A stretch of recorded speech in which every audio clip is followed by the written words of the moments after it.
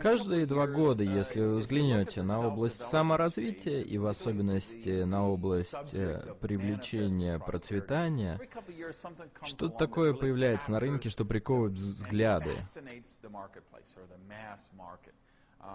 Будь то книга или фильм, и, конечно, номер один в последние пару лет, безусловно, был фильм «Секрет».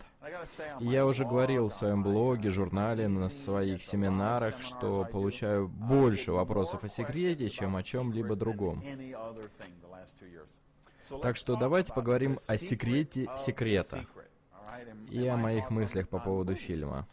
Прежде всего, я люблю этот фильм по двум причинам. Одна из них, он действительно донес закон притяжения в сознание масс. Большое количество людей, которые даже об этом не думали или думали как о чем-то странном, сейчас это нормально воспринимают. И, конечно, мои друзья и коллеги, которые там участвовали, например, Джо Витали и мой друг Джеймс Рэй, Боб Проктор, Джон Мартини, просто замечательный парень. Эти замечательные люди там, которых я знаю, я действительно рад их там видеть и расширение их популярности на рынке.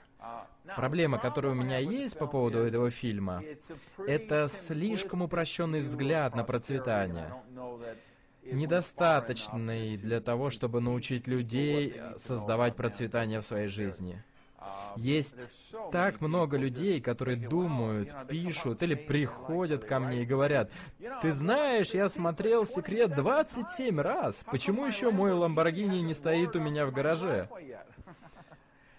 Знаете, ребят, еще у квакеров была поговорка «Пока молишься, двигай ногами».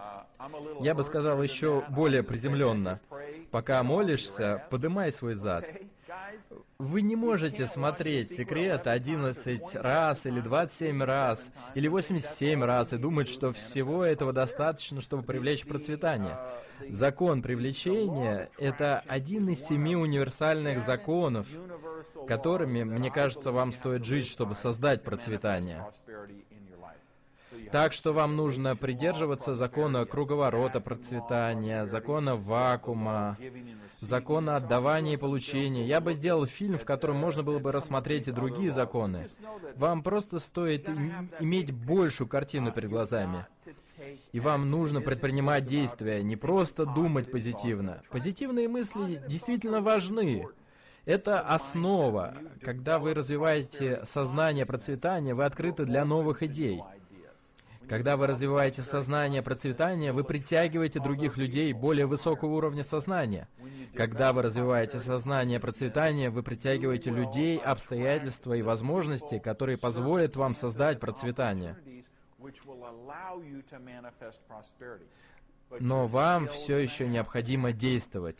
Так что если у вас нет сознания процветания, кто-то подойдет к вам замечательной идеей, и вы подумаете, что это плохая идея. Вы не обратите на нее внимания. Или наоборот, кто-то подойдет к вам с плохой идеей, знаете, с цепочкой писем или финансовой пирамидой, с чем угодно. А вы, о, это потрясающая идея, и потратите все свои жизненные сбережения на какую-то глупость. Это то, что случается, когда у вас неправильное сознание. И то же самое, если у вас нет сознания процветания, кто-то подойдет к вам с потрясающей идеей. Вы скажете, о нет, тебе нужно оказаться наверху, нужны деньги, чтобы делать деньги, нужно знать нужных людей, или нужно образование, или статус. У вас просто будет куча оправданий этого не делать. Так что, пожалуйста, поймите, иметь правильное сознание важно. Вам нужно понять, что давая своему уму позитивные мысли каждое утро, когда вы просыпаетесь, каждую ночь, когда перед тем, как пойти спать, если вы будете это делать, то разовьете сознание процветания, и вы начнете притягивать людей, обстоятельства, которые позволят вам создавать процветание. Но вам все же придется действовать. Так что запомните, ищите процветание, и когда его увидите, используйте эти возможности. Меня зовут Рэнди Гейдж. Спасибо.